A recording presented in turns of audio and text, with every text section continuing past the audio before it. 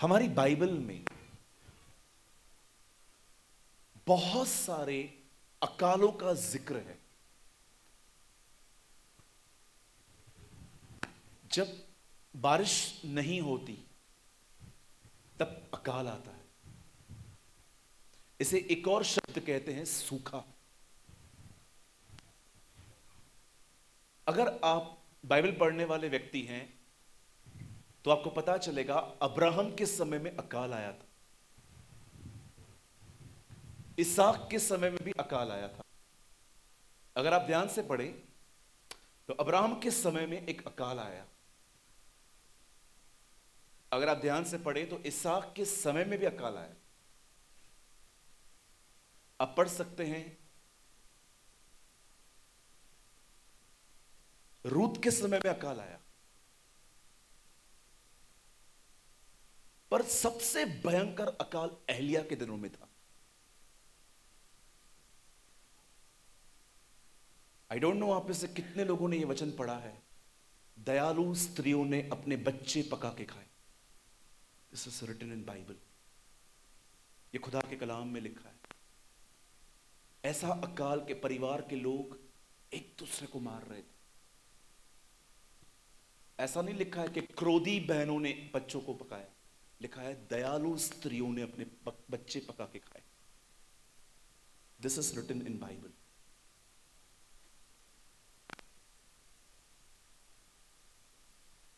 अहलिया के दिनों में जब अकाल आया, मैं इसे बता के आगे बढ़ना चाहता हूँ और बदर बैठ जाइए। बैठ जाइए। कोई भी खड़ा न रहे। माइंड है ना डाइवर्ट हो जाता। है अहलिया के दिनों में एक अकाल आया। ये अहलिया के कहने पर आया था।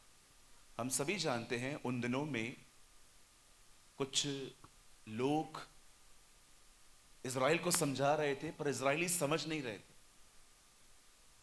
बाइबल कहती है, अहलिया के दिनों में इसराइल झूठे नबियों के पीछे चल रहा था, और झूठे देवताओं को जो उन दिनों में था, बाल, उसे मान रहे थे। आज भी आप देखते होंगे, लोग पैसों को खुदा मानते हैं। पैसों को चूमते हैं गिरने पर।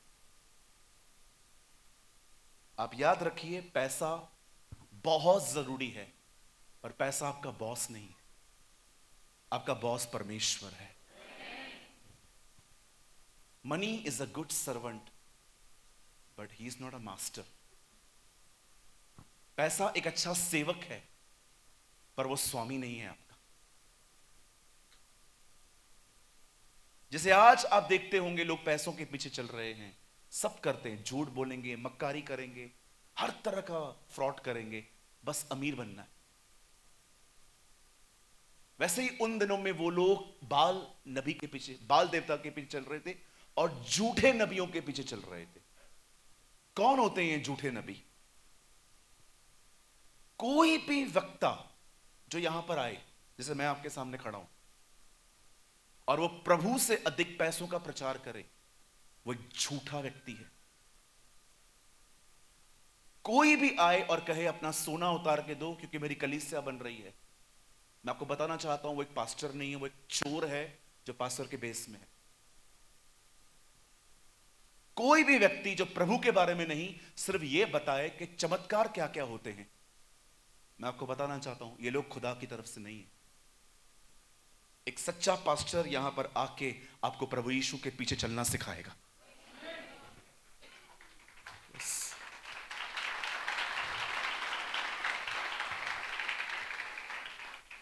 बाइबल कहती है, जैसे उनमें झूठे नबी थे, वैसे तुम में झूठे शिक्षक भी होंगे, जो हर दिन नाश होने वाले पाखंडों का उद्घाटन करेंगे।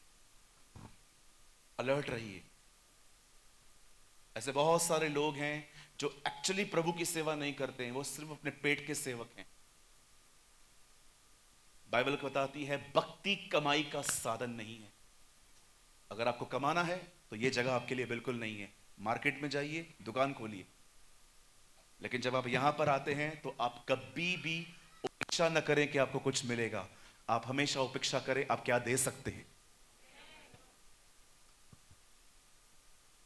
किसी बुज़ुर्ग ने कहा लेने वाला अच्छा खाना खाता है, पर देने वाला अच्छे से सो पाता है। बी ए गिवर मैं भी बचपन से गिवर नहीं था। मेरा तो कोई खिलौना लेके जाए, मैं उसकी नाक फोड़ के आता था। लेकिन जब मैं प्रभु में आया, मुझे परमेश्वर ने कहा, देना सीख। हर समय देना सीख। जो कुछ है, उसमें से देना सीख। मुझे लगता था, प्रभु, मैं जब बहुत, मेरे पास जब बहुत आएगा ना, तब मैं दूँगा। मुझे खुदा ने कहा, उस सीख, उस विधवा से जिसने अपनी दो दमड़ियाँ में डाल दी थी। कभी कभी परमेश्वर आपसे तब उपेक्षा नहीं करता जब आपके पास बहुत होता है। वो आपसे तब उम्मीद करता है कि आपके पास थोड़ा ही है और वो भी दे दो।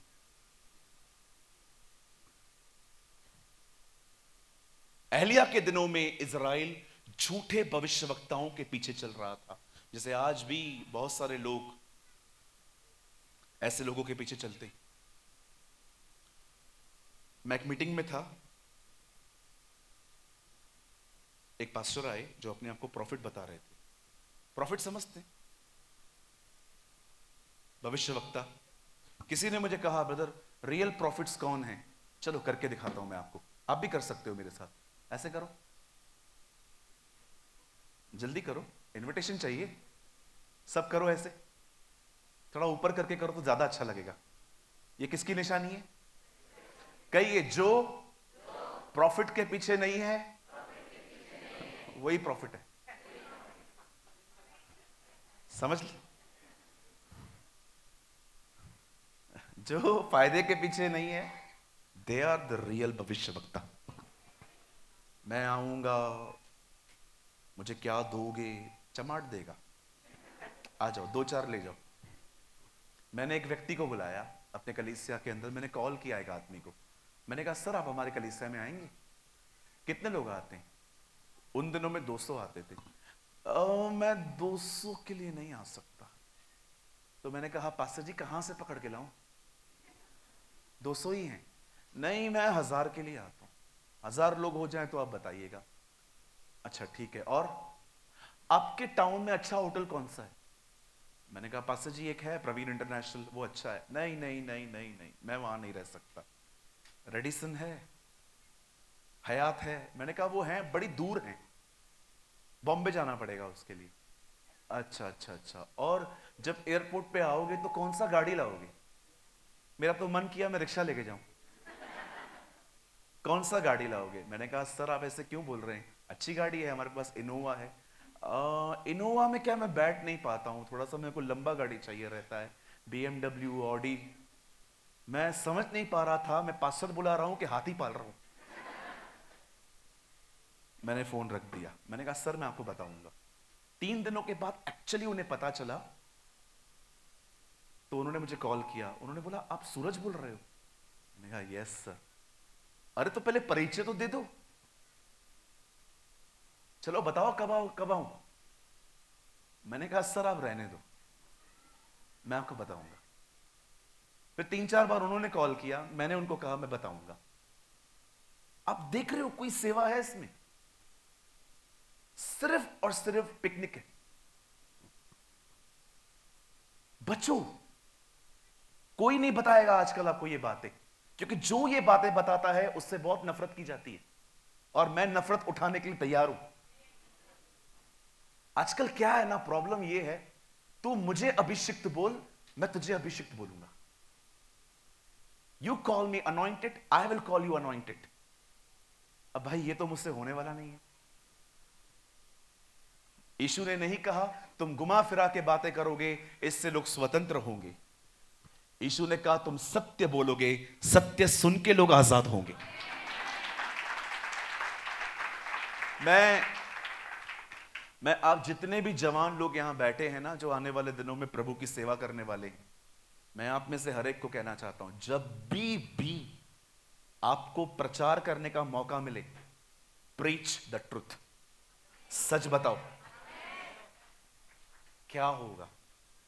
ज़्यादा से ज़्यादा क्या होगा? ये लोग आपको दोबारा नहीं बुलाएँगे। कोई बात नहीं। मैं तो हमेशा से ऐसे सोच के आता हूँ कि ये लोग मुझे दोबारा तो बुलाने वाले हैं नहीं।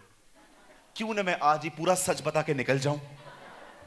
लेकिन भाई राजू अच्छे कहाँ गए? वो यहाँ बैठे ही। Is a very good brother कहिए अपने बाजू वाले को हमेशा सच बोलो। हाँ बोलो बाजू वाले को घुमा फिरा के बोलना बंद कर दो अभी। हाँ, अभी क्या टाइम बचा है क्या? कि अभी तक भी आपको घुमा फिरा के बातें बताएँ। नहीं नहीं तू सुधर जाएगा। सुधर भाई सुधरना ही पड़ेगा। हालेलुया कितने लोग को मेरी बातें समझ रहा नहीं? कोई टमाटर और अंडे लाया है क्या? सच बोलो।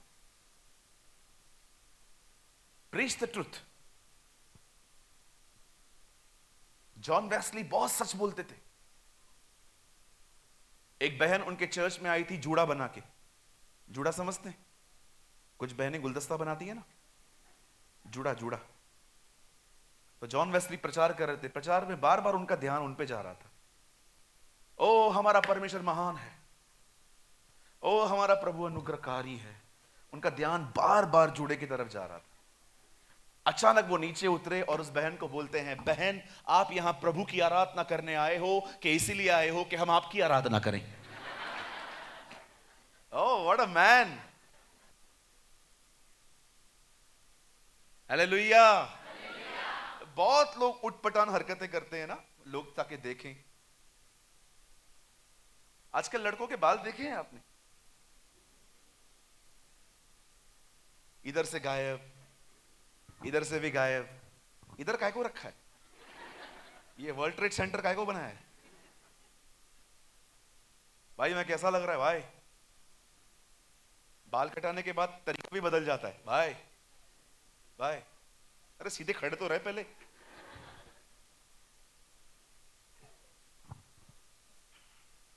बाइबल कहती है, अहलिया के दिनों में अकाल आया। बड़े ध्यानपूर्वक सुने। एम सॉरी नहीं इट्स ओके इट्स ओके मेरी गलती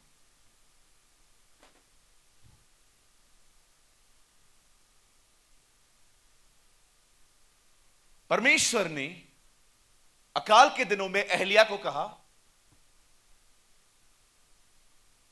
अपने आप को एक जगह पे रख। हर दिन कौवे तुझे खाना देने आएँगे। एलिया के चार दोस्त थे। ये चारों कौए उसके दोस्त थे। रोज खाना लेके आते थे। अब हमेशा याद रखेगा कौआ मांस ले सकता है, दे नहीं सकता। परमेश्वर ने कौओं का स्वभाव बदल दिया। God change the nature of परमेश्वर ने उनका स्वभाव ही बदल दिया। वो खाना देने लग गए। और हर दिन वो खाना खा के वहाँ से एक नाली बहती थी, शुद्ध पानी होता था, वो उसे पीता था। एक दिन पानी सूखने लगा। एलिया बड़ा परेशान हो गया। एलिया ने कहा, अब मैं क्या करूँ? परमेश्वर उसे कहता है, एक काम कर, अब तू यहाँ से निकल। मैं तुझे एक जगह बताता हूँ जिसका नाम है सारपात। वहाँ पर एक विधवा को मैंने खाना तुझे देने के लिए कहा है। बड़े ध्यान से सुनिए, बड़ी अजीब बात बता रहा हूँ मैं आपको। मुझे, मैं ऐसे गारंटी से लिख के देता हूँ, आप में से किसी का भी ध्यान वहाँ पर नहीं गया होगा आज तक। जब अहलिया खुदा से कहता है, मैं खाना कहाँ से खाऊं? तब खुदा कहता है, तू यहाँ से बाहर आ और सारपात नगर में जा। एक गाँव है वो, वहाँ पर एक विधवा है। मैंने उससे कहा है, वो तुझे खाना खिलाएगी। बाइबल कहती है, खुदा के इस कलाम के द्वारा अहलिया वहाँ से निकलता है। और जैसे वो उस गाँव में जाता है, आप जानते हो जो विधवा थी, वो घर में नहीं बैठी हुई थी। वो घर के आँगन के बाहर खाना बनाने के लिए लकड़ियाँ बीन रही थी। आजकल आप लोग गैस, सिलेंडर, ये सब देखते हैं। पहले के दिनों में ऐसा कुछ नहीं होता था। खाना बनता ही लकड़ियों पर था। आज भी आप बहुत सारे गाँव में जाएँगे, आपको खाना लकड़ी पे ही बना हुआ मिलेगा। अब ये लकड़ियाँ बीन रही थी। एलिया उसके पास जाके कहता है, बहन मुझे पानी पिलाइए। यस सर जैसे ही वो जा रही थी, पीछे से अहलिया कहता है, आप एक काम कर सकते क्या आप मेरे लिए एक टुकड़ा रोटी का भी बना के ले आएँगे? इंग्लिश में लिखा है द पीस ऑफ़ केक क्या आप मेरे लिए एक खाने का टुकड़ा भी ले आएँगे? अब इस बहन को सुनिए, वो क्या बोल रही है। बोलती है, कुछ भी नहीं है खाने के लिए, एक आखिरी खाना पड़ा है। आज हम खाएँगे हमें भी नहीं पता है कल हम कैसे खाएँगे। मेरी हिंदी में लिखा गया है, ये ऐसा खाना है, बस खाएँगे और मर जाएँगे। लेकिन एक्चुअली इंग्लिश में ऐसा बताया गया है, जब आप if you if you read called King James version जब आप उसे पढ़ेंगे तो आपको पता चलेगा कि वो उसे कहती है कि ये आखिरी खाना है। हम खाएँगे और मर जाएँगे। अब मेरा एक सवाल है यहाँ पर। सामने देखिए। परमेश्वर अहलिया से कहता है, मैंने उसे कहा है, वो तुझे देगी. ये विधवा तो कुछ जानती नहीं। कभी आपका इस पे ध्यान गया है? खुदा कहता है, मैंने उसे कहा है, वो तुझे देगी. पर यह विधवा तो कुछ जानती ही नहीं है। इसे तो पता ही नहीं है कुछ भी। समझ में नहीं आ रहा है कौन झूठ बोल रहा है? खुदा झूठ बोल रहा है कि ये लेडी झूठ बोल रही है? पर हम सब जानते हैं परमेश्वर झूठ बोल ही नहीं सकता। अब अब ये बात है क्या? परमेश्वर कहता है, तू जा, मैंने उसे खाना, खाने के लिए तुझे कहा है। अब ये बंदा वहाँ पर जाके खाना माँगता है, वो लेडी तो कुछ जानती ही नहीं है। बड़े ध्यान से सुने। ये हमारी हालत है आज की। खुदा बोल रहा है, हमें सुनाई नहीं देता। ये आज कलीसिया की हालत है। खुदा बात करता है। हम सुने नहीं पाते है क्यों? हम डाइवर्ट हैं। और जानते हैं, हम किस चीज़ में डाइवर्ट है? इसमें। हमें सारा दिन ये चाहिए। हमारा ध्यान यहाँ है। हम खुदा को सुन ही नहीं पाते। फ़ोन प्रॉब्लम नहीं है। हम फ़ोन के द्वारा सारा दिन खुद को एंटरटेनमेंट, एंटरटेन करने में लगे पड़े। Selfie, WhatsApp, Facebook, Instagram, status, phone phone phone. कभी आपने सोचा है? आप में से कुछ लोगों को क्यों शिकायत है? प्रभु, आप बात क्यों नहीं करते? आप मुझसे बात क्यों नहीं करते खुदा? जानते हो परमेश्वर आपको क्या कहेगा? मैं रोज करता हूँ, तुझे सुनाई नहीं देता। क्यों नहीं सुनाई देता? क्योंकि तेरा ध्यान, तू भटका हुआ नहीं है, तेरा ध्यान भटका हुआ है।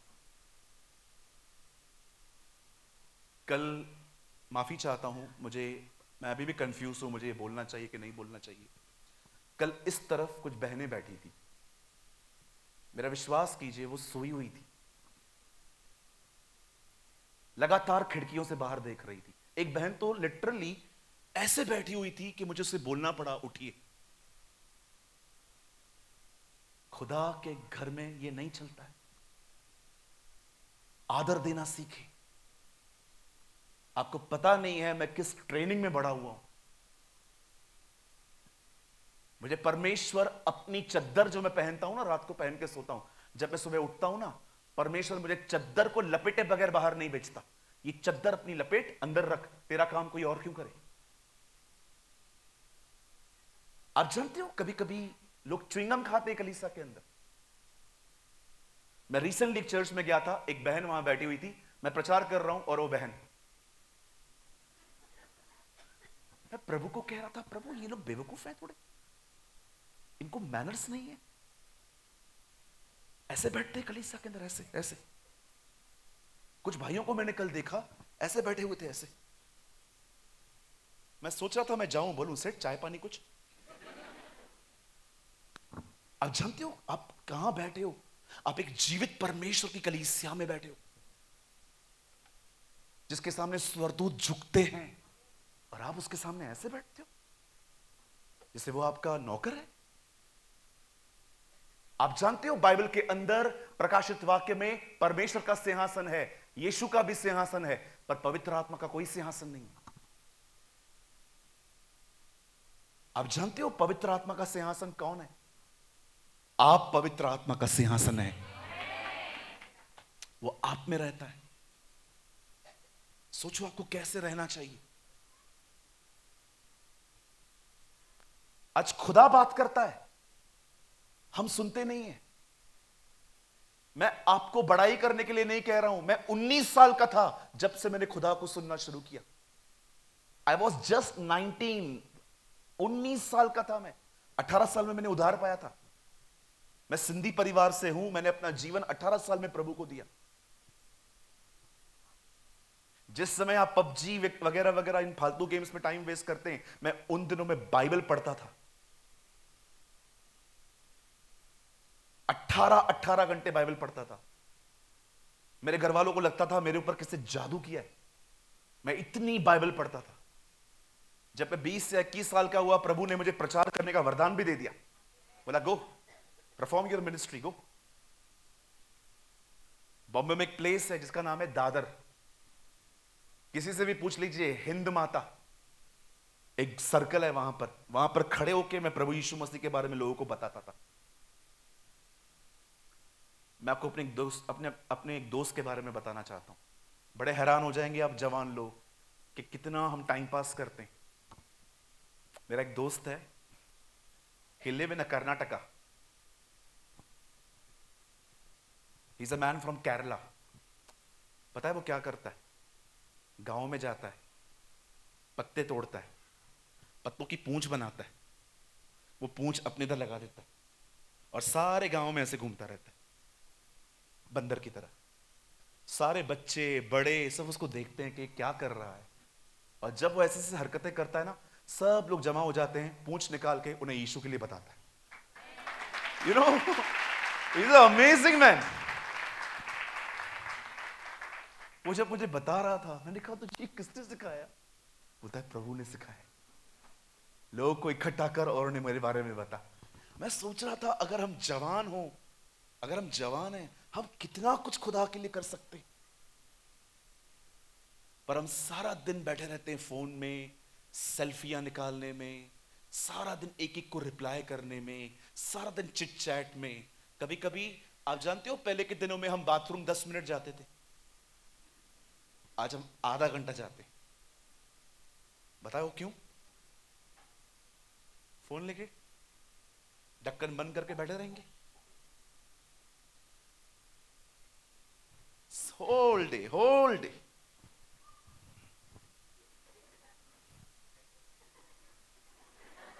जुबानें बाहर निकालेंगे। मेरे माँ बाप के फ़ोटो में आपको दिखाऊँगा आप हैरान हो जाओगे। मेरे माँ बाप के फ़ोटो ऐसे हैं। मैं कभी कभी पिताजी से बोलता हूँ माँ सामने खड़ी थी आप ऐसी शक्ल लेके खड़े हो।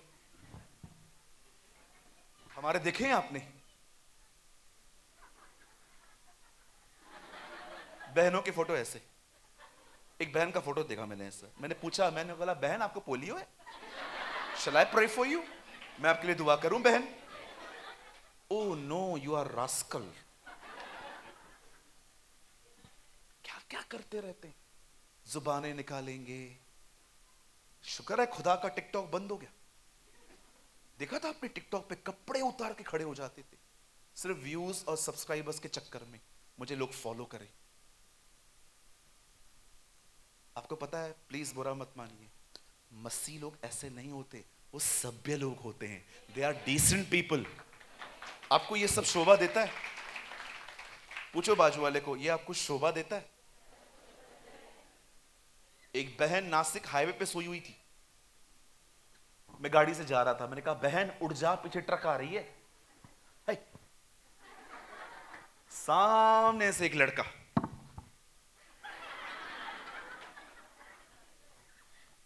प्रभु को कह रहा था प्रभु ये लोग थोड़े कम पावली कम है ये लोग। जब तो दिमाग बांट रहा था उस जग, उस जगह पे लोग किधर गए थे? प्रभु कह रहा था कुछ खा रहे थे उधर। मैं इतनी बाइबल पढ़ता था। जब मैं 20 से 21 साल का हुआ प्रभु ने मुझे प्रचार करने का वरदान भी दे दिया। बोला go perform your ministry go. Bombay में एक प्लेस है जिसका नाम है दादर। किसी से भी पूछ लीजिए हिंद माता। एक सर्कल है वहाँ पर। वहाँ पर खड़े होकर मैं प्रभु यीशु मसीह के बारे में लोगों को बताता था। मैं आपको अपने दोस्त, अपने अपने एक दोस्त के बारे में बताना चाहता हूँ। बड़े हैरान हो जाएँगे आप जवान लोग कि कितना हम टाइम पास करते हैं। मेरा एक दोस्त है he live in Karnataka. Is a man from Kerala पता है वो क्या करता है? गाँव में जाता है, पत्ते तोड़ता है। पत्तों की पूंछ बनाता है। वो पूंछ अपने इधर लगा देता है और सारे गाँव में ऐसे घूमता रहता है, बंदर की तरह। सारे बच्चे, बड़े सब उसको देखते हैं कि क्या कर रहा है। और जब वो ऐसे ऐसे हरकतें करता है ना, सब लोग जमा हो जाते हैं, पूंछ निकाल के उन्हें यीशु के लिए बताता है। You know is amazing man वो जब मुझे बता रहा था, मैंने कहा तो किसने सिखाया? बोलता है, प्रभु ने सिखाया लोगों को इकट्ठा कर और उन्हें मेरे बारे में बता। मैं सोच रहा था, अगर हम जवान हो, अगर हम जवान हैं, हम कितना कुछ खुदा के लिए कर सकते। पर हम सारा दिन बैठे रहते हैं फ़ोन में, सेल्फियाँ निकालने में, सारा दिन एक एक को रिप्लाई करने में, सारा दिन चिट चैट में। कभी कभी आप जानते हो, पहले के दिनों में हम बाथरूम दस मिनट जाते थे। आज हम आधा घंटा जाते बताओ क्यों? फ़ोन लेके ढक्कन बंद करके बैठे रहेंगे। होल डे होल डे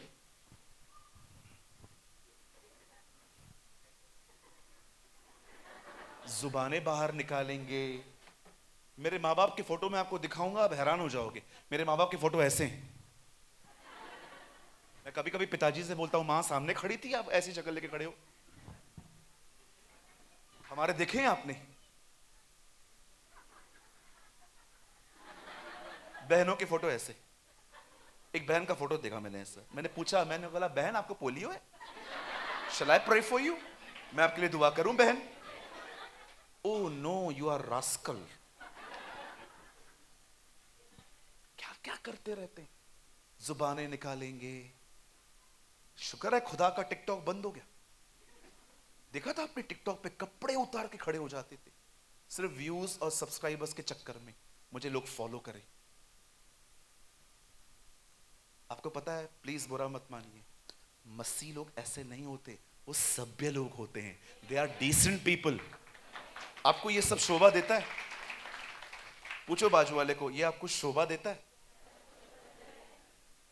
एक बहन नासिक हाईवे पे सोई हुई थी। मैं गाड़ी से जा रहा था, मैंने कहा, बहन उड़ जा, पीछे ट्रक आ रही है। सामने से एक लड़का।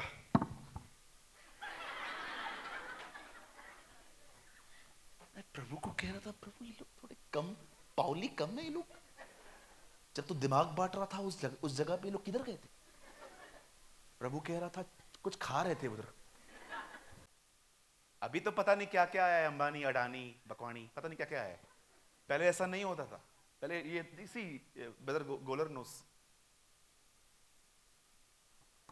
मुझे आज भी पता है पहले के दिनों में मतलब आज आप अपने माँ बाप को बोल के देखो माँ गर्मी हो रही है ऊटी मनाली शिमला लोनावाला उन दिनों में खाली बोलो मुझे गर्मी है अगले दिन टकला।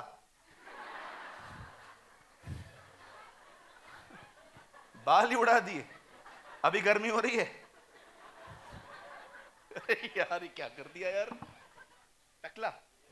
सीधा बाल उड़ा दी। कितने लोगों ने टायर चलाया tyre? Hey how many of you know tyre चलाए टायर? दूसरे के जाड़ की इमलियाँ कभी चोरी की है? ब्रदर बचपन पूरा किया ही चोरी है मैं खुद चोर है। मेरा बाप भी यही करता था। उन दिनों में मैंने अपने घर में एक चीज़ देखी थी, और वो था एफएम अभी आपका कैसा है? आजकल बटन दबाओ तो लाइन लाइन से एफएम चलते हैं। जब मैं पैदा हुआ ना, वैसा वाला एफएम नहीं था। फ्रीक्वेंसी करेक्ट करनी पड़ती थी। आज के मुख्य समाचार। मेरे दादाजी मुझे बोलते थे एफएम तो लगा, इंदिरा गांधी आने वाली है। मेरे दादाजी मुझे ऐसे बोलते थे। फिर मैं भी लगा रहा था। रेडियो सिटी उन दिनों में नहीं होता था। आप जानते खुदा के साथ रिश्ता भी ऐसा ही है। हर दिन फ्रिक्वेंसी ठीक करनी पड़ती है। तब जाके आवाज़ सुनाई देती है।